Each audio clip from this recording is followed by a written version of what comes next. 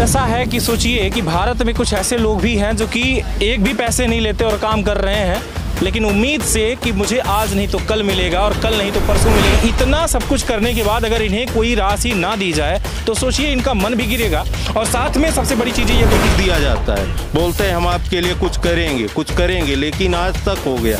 2014 से आप लोग रिट्रोफिटिंग का काम करिए उसमें भी हम लोगों ने काम किया।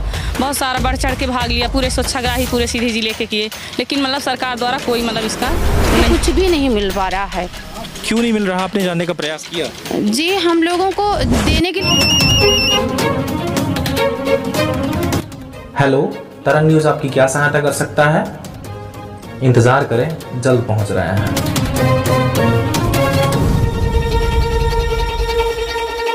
नमस्कार मैं रवि कुमार आपके साथ इस वक्त हाजिर हूँ मैं जिला पंचायत कार्यालय के सामने जहाँ मैं आपको अवगत करवा दूँ कि आज लगातार जो है कई ऐसे मामले देखे गए कि यहाँ पर सैकड़ों लोग आते हैं आवेदन लेकर। जिला कलेक्टर सुनवाई जब करते हैं तो हर मंगलवार को यहाँ पर इतने लोग आते हैं, लेकिन उनकी सुनवाई जो है स्वीकार नहीं होती। फिर अगले मंगलवार को फिर वही आदमी मिलते हैं। लेकिन आज फिर एक मामला देखने को मिला, एक ऐसा मामला जहाँ पर मैं आपको बता दूँ कि लगभग सालों से उनसे जो है काम तो लिया जा रहा लेकिन आज तक उन्हें कोई पैसे नहीं दिए जा रहे पैसे मतलब जो उनका काम जो मेहनत कर रहे हैं, मेहनत मेहनत का कोई उनको फ़ीस अगर ना मिले तो कैसे काम करेंगे?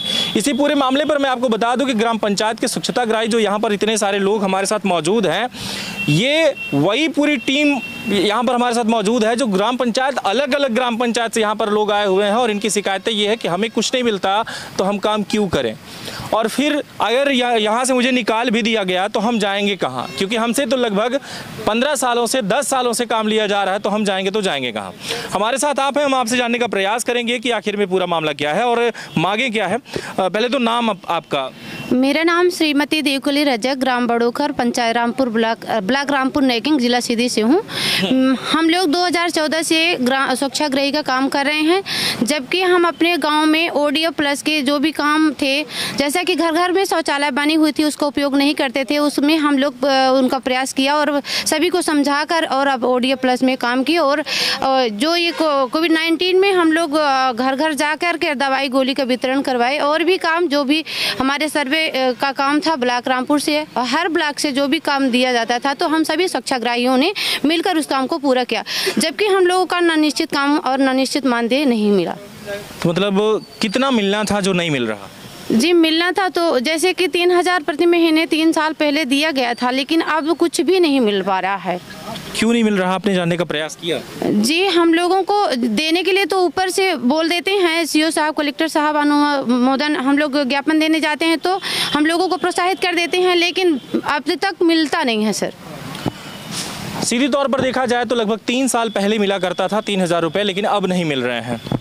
आ, आप किस ग्राम पंचायत से हैं? ग्राम पंचायत करवाही से करवाही से तहसील आपका? सर ये सीधी है। अच्छा तहसील सीधी है। तो आपको क्यों नहीं मिल रहा? आपने भी जाने का प्रयास किया। सर हो गया यही बोलते हैं कि मतलब जब कोई कार्यक्रम करवाते हैं तो बोलते हैं आप लोगों को मानदेय के रूप में प्रोत्साहन की राशि के रूप में दिया जाएगा ओडिया प्लस में हम लोग भाग लेते हैं। कोरोना जैसे महामारी में इतनी मतलब खतरनाक महामारी में हम लोग घर घर जाके क्वारंटाइन किए किए गए लोगों को खाना है पानी है हर एक चीज़ में हम लोग सहयोग किए लेकिन आज तक सरकार द्वारा हम लोगों को कोई मतलब प्रोत्साहन राशि नहीं दी जा रही है। मतलब काम लिया जा रहा है लेकिन पैसे नहीं शौचालय का है रिट्रोफिटिंग का काम जो है तो उसको बोले कि आप लोग रिट्रोफिटिंग का काम करिए उसमें भी हम लोगों ने काम किया। बहुत सारा बढ़ चढ़ के भाग लिया पूरे स्वच्छाग्राही पूरे सीधे ज़िले के किए। लेकिन मतलब सरकार द्वारा कोई मतलब इसका नहीं किया जा रहा। नाम क्या है आपका? मेरा नाम है अनीता गुप्ता। आप किस ग्राम पंचायत से हैं? ग्राम पंचायत है मेड़िया क्या समस्या है आपकी? यही कि एस के तहत हम लोग 2014 से काम कर रहे हैं लगातार और इसके पहले मतलब हज़ार दो हज़ार मिलता था राशि लेकिन तीन साल से एक रुपये नहीं मिला काम बस करा रहे हैं। आपका क्या हुआ? आप कह रहे थे कुछ पैसे लूट लिया किसी ने? अब्दुल कलाम नाम है मेरा। हाँ वो जो है तो हमारी गोपत बनारस है ये सीधी क्षेत्र गोपत बनारस। तो ये बताइए नहीं पटवारी खा के चला गया दस हज़ार रुपये अच्छा आप इस मामले में नहीं है? हाँ हाँ। चलिए आपसे भी बात करते हैं। अच्छा आप आप कहाँ से हैं? मेरा काम तहसील काम पंचायत क्षेत्र करमाई तहसील में तो वही समस्या है आपको भी नहीं मिल रहा। नहीं मिल रहा है तो ये बताइए कि आप इतने सारे लोग यहाँ पर हाजिर हैं कभी आप लोग तहसीलदार के पास या फिर कलेक्टर के पास गए इस पूरे मामले को लेकर के? जी। जी क्या क्या हुआ? आश्वासन मिला हुआ कुछ नहीं। अच्छा नाम क्या है आपका? मेरा नाम श्री कमल मिश्रा है मैं ग्राम पंचायत वरहा से हूँ। 2014 से खुले में शौच जैसे बाहर लोग जा रहे हैं लोटा पार्टी करने माइंड चेंज करना। घर घर शौचालय के लो, लोगों को समझाइश देना कि आप भैया बनवा लो शासन भी प्रोत्साहन राशि दे रही है आपको बारह हज़ार रुपये लोग बनाने के लिए राज़ी हुए, बनाए भी। बहुत अच्छा वो चला, जिससे पंचायत के सरपंच महोदय, सचिव और रोज़गार सहायक भी हमारे पक्ष में थे कि आप लोग बहुत अच्छा काम कर रहे हो। ग्रामीण भी हमसे खुश। लेकिन बार बार जब भी आदेश आता है काम तो सौंप दिया जाता है। बोलते हैं हम आपके लिए कुछ करेंगे कुछ करेंगे। लेकिन आज तक हो गया 2014 से। लेकिन आज तक हमें वही बीच बीच में 2000 या 3000 रुपए मिल जाते हैं। उसके अलावा अभी तक हमें कोई या तो एक ए, साल भर तो हुआ कुछ भी नहीं मिला। काम मिल रहा है लेकिन उसके एवज में हमें मानदेय नहीं मिल रहा। है इसीलिए आज हम स्वच्छ भारत मिशन के तहत इसीलिए आज सभी लोग इकट्ठा हुए हैं कि हमें निश्चित मानदेय और निश्चित कार्य दिया जाए। लेकिन अगर मान लीजिए कि आप लोग ये काम नहीं करते हैं जी। तो ग्राम पंचायत पे क्या फ़र्क पड़ेगा? अब स्वच्छ भारत मिशन का जब हमारा सिलेक्शन हुआ था तो एक हमें मोटो दिया गया था कि अगर ग्राम पंचायत में स्वच्छाग्रही आता है तो क्या होगा या नहीं जाता है तो क्या होगा? वही लोगों के दिमाग, यानी लोगों के बीच में हर हमेशा स्वच्छता की अलग जगानी है। हमारा हमारा ड्यूटी जो है, स्वच्छता के बारे में लोगों को सचेत करना है। वही हम अगर बंद कर देंगे तो वही फिर से चालू हो जाएगा। जैसे अभी आधे से अधिक रेट्रोफिटिंग में है टूटी फूटी है, पंचायत निर्माण या कुछ भी। तो वही अभी हम सर्वे करके दिए हैं, लेकिन उसके एवज में भी बोला गया था कि आपको राशि मिलेगी, आप पर शौचालय का सर्वेक्षण करेंगे। लेकिन उसके एवज में अभी तक हमें कोई राशि नहीं प्राप्त हुई है। बिल्कुल, आपके द्वारा भी वही चीज़ें कहना है कि जितने सारे यहाँ पर लोग हैं, सबका कहना यही है कि हमें जो है, हमसे मेहनत तो करवा लेते, लेकिन हमें कोई भी जो राशि मिलनी चाहिए वो राशि हमें नहीं मिल पा रही। और हमसे काम अभी भी लिया जा रहा। कोरोना काल में भी आप लोगों के द्वारा लगातार मेहनत की गई थी। और सबसे बड़ी बात सब सबसे बड़ी बात तो ये देखी जाती है कि महिलाओं का जो सम्मान था जो आज मोदी करते हैं और माननीय शिवराज सिंह चौहान जो करते हैं तो हमारे साथ भी महिलाएँ हैं यहाँ पर और इन्हीं के द्वारा भी उस टाइम पर यही समझाइश दी गई थी कि आपको घर से बाहर नहीं, बल्कि घर के अंदर ही आपके टॉयलेट बन रहा है, आपके घर के पास तो नज़दीकी वहाँ जाइए, जैसे आपने बताया कि हमने इतना समझाया और समझाइश के बाद जो है आज हमारा जो ग्रामीण क्षेत्र है वो स्वच्छ हो रहा है। और धीरे धीरे एक निरंतर आज भी प्रयास जो है जारी है। लेकिन सबसे बड़ी चीज़ें ये देख, देखी जा रही कि इतना सब कुछ करने के बाद अगर इन्हें कोई राशि ना दी जाए तो सोचिए इनका मन भी गिरेगा। और साथ में सबसे बड़ी चीज़ें ये देखी जाती है कि ये काम जो कर रहे हैं तो ये मोटिवेट नहीं हो पाएँगे फिर काम नहीं कर पाएँगे। जिसके चलते आप कह रहे हैं कि अगर हमारा सहयोग नहीं होगा तो ग्राम पंचायत में कुछ ऐसी चीज़ें हैं जो बाकी उन पर जो है प्रभाव पड़ेगा। आपसे भी जानने का प्रयास करेंगे। क्या नाम है सर आपका? मेरा नाम राम सजीवन कचेर है। मझौली ब्लॉक से हूँ जिला सीधी मध्य प्रदेश। कौन सा गाँव है आपका? हमारा गाँव छुही है। छुई से है। तहसील मझौली है। वहाँ भी ऐसा ही चल रहा है? ऐसे चल रहा तहसील चाहे जो हो वही सब। वही वही चल रहा है। हम लोग 2014 से काम कर रहे हैं। पहले स्वच्छ भारत में प्रेरक के रूप में किया इसके बाद फिर ज़िले से प्रशिक्षण हुआ तो राष्ट्रीय स्तर पे मतलब हुआ तो वहाँ भोपाल गए वहाँ से भी ट्रेनिंग किया प्रशिक्षण। मोटिवेशन में संकुल सहजकर्ता में मतलब पदोन्नत हुआ हमारा। हम पूरे ब्लॉक में हर जगह स्वच्छाग्रहियों को ट्रेनिंग देने लगे बीसी सर और ट्रेनर के रूप में। ये सब किया 2000 1500 ऐसे मिलता था और लोगों को मोटिवेशन करता था शौचालय के बारे में, शौचालय बनवाया। खुले में शौच मुक्त के लिए उनका माइंड चेंज करने के लिए हम लोग बहुत सारा तीन बजे रात से घर से निकलता था। 18 18 पंचायतों में जाता था। एक पंचायत तो बात ही थी, संकुल सहज करता था। वहाँ जाता था, स्वच्छाग्रहियों के साथ में लेता था। फिर अगले पंचायत में बदल बदल के ये सब काम दो तीन वर्ष लगातार किया। शौचालय पूरा हो गया ओडीएफ हो गया। थोड़ा बहुत दो हज़ार पच्चीस सौ ऐसे रास करके मिला मानदेय के रूप में। लेकिन इसके तीन साल से भी बिल्कुल नहीं मिला। हम लोग कोरोना में भी काम किया। अभी जियो टैग का काम जो था शौचालय का आंगनबाड़ी है विद्यालय है ये सारे काम हम लोगों ने किया लेकिन एक रुपये नहीं मिला अभी तक। ये दशा है कि सोचिए कि भारत में कुछ ऐसे लोग भी हैं जो कि एक भी पैसे नहीं लेते और काम कर रहे हैं लेकिन उम्मीद से कि मुझे आज नहीं तो कल मिलेगा और कल नहीं तो परसों मिलेगा इसके चक्कर में तीन साल काट दिए। आप भी कुछ कह रहे थे इसी सिलसिले में? जी सर मैं भारत के यशस्वी प्रधानमंत्री श्रीमान नरेंद्र मोदी जी के आह्वान पर वर्ष 2014 दो अक्टूबर गांधी जयंती राष्ट्रपिता महात्मा गांधी की जयंती के अवसर से स्वच्छ भारत योजना की शुरुआत पूरे देश में की गई जिसके तहत देश भर के सात लाख ग्राम पंचायतों में सात लाख स्वच्छाग्रहियों की नियुक्ति हुई। वो सभी स्वच्छाग्रही अपनी अपनी ग्राम पंचायतों में जाकर दिन रात एक करके भोर में चार बजे से आठ बजे सुबह तक तो मॉर्निंग फॉलो अप शाम को पाँच बजे से रात को आठ बजे तक इवनिंग फॉलो अप रात को आठ बजे नौ बजे स्वच्छता चौपाल नुक्कड़ नाटक स्वच्छता रैली आदि हम सबने करके गाँव के लोगों के मनोभावों को विचारों को बदला। जिसका परिणाम यह हुआ कि लोगों ने शौचालय बनवाना प्रारंभ किया। शौचालय बनवाया। पर उसका उपयोग नहीं करते थे।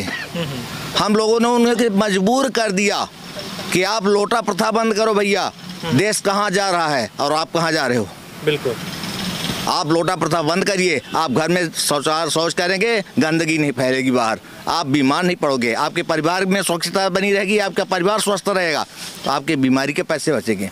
हमारे प्रधानमंत्री जी ने अपने वक्तव्य में स्वयं स्वीकारा है कि स्वच्छाग्रही स्वच्छ भारत मिशन रोज़गार का साधन बन गया है। आज वो स्वच्छ भारत मिशन जो रोज़गार का साधन बना हुआ था आज वही हम लोगों के लिए बेरोजगारी का साधन बन गया है। आज आज हम सब मारे मारे फिर रहे हैं एक एक पैसे के लिए मोहताज हैं श्रीमान जी। हम लोगों के पास परिवार है। हमारे बीबी बच्चे बाल बच्चे हमारे बब्बा दादा बाबा माता पिता उनका भरण पोषण कैसे हो? उनका दवा इलाज कहाँ से हो श्रीमान जी? हैं? आदरणीय मामा जी जो हम सबको भांजे और भांजी मानते हैं और हम भी तहे दिल से उनको मामा मानते हैं। उन्होंने अभी में हाल ही में एक बहुत महत्वपूर्ण योजना प्रारंभ की, महत्वाकांक्षी योजना उनकी थी, लाडली मह- बहना योजना, लाडली बहना योजना। तो उस लाडली बहना योजना के दौरान सारे ग्राम पंचायतों के जीआरएस और सचिव हड़ताल पर चले गए। अपनी मांगों को मनवाने के लिए। लेकिन हम स्वच्छाग्रहियों ने ये ठाना कि ये हमारे मामा जी की योजना है और इस योजना को हम लोगों को पूरा करना है। चाहे जो कुछ भी हो जाए, हम लोगों ने घर घर जाकर ई के करवाई। लोगों को प्रेरित किया, लोगों को योजना के बारे में बताया। लोगों ने जाकर अपना फॉर्म फिलअप कराया और उसमें बराबर सहयोग दे।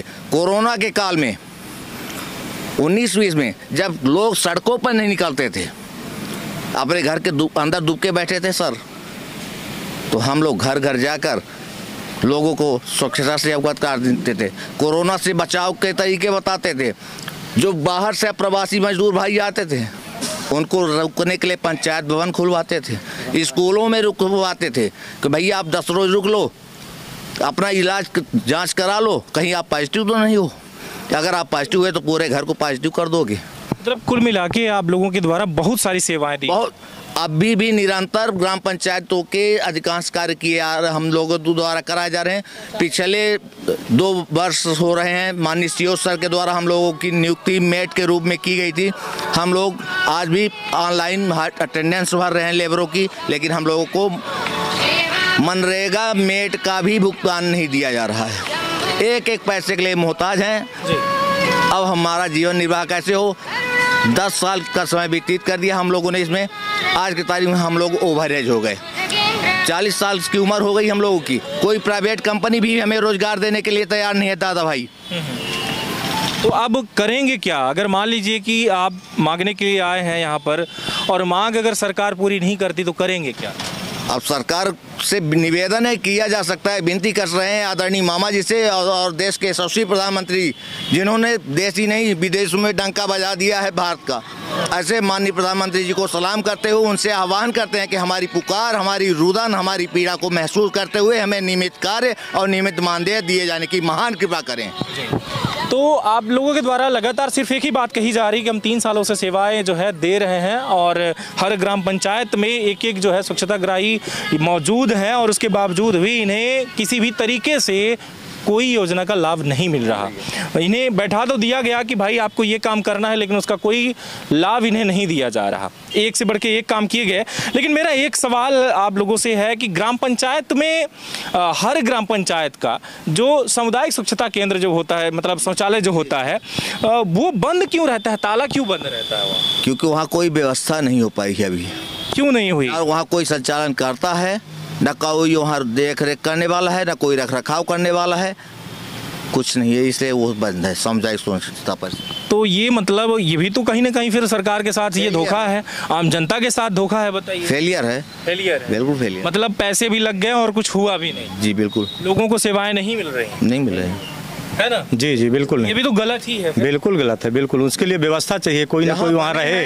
जी जी। भाई बोर का खर्च हुआ टंकी का खर्च हुआ सारी चीज़ें उसको देख रेख के लिए कोई ना कोई को अधिकृत होना चाहिए तभी जाके उसका सुरक्षा होगा फॉलो अप होगा।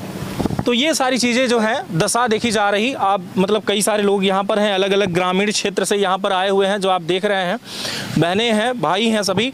और सबसे बड़ी चीज़ ये कि ग्राम पंचायत से चल कर जब यहाँ आते हैं तो इनके द्वारा सुनवाई नहीं होती। आप लोग बता रहे हैं कि कई बार शिकायत किए तहसीलदार के पास गए, कलेक्टर के पास भी गए, लेकिन इस पर कुछ हो नहीं रहा। अब देखना, यही होगा कि इन आवाज़ों पर जो है, जिला कलेक्टर, या फिर बात करूँ कि मुख्यमंत्री के द्वारा क्या आवाज़ उठाई जाती है, जो ये तो उस पर कोई एक्शन होता है या नहीं।